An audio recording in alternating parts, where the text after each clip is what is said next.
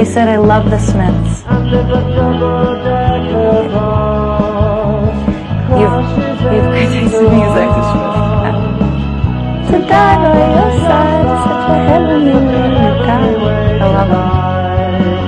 I love them.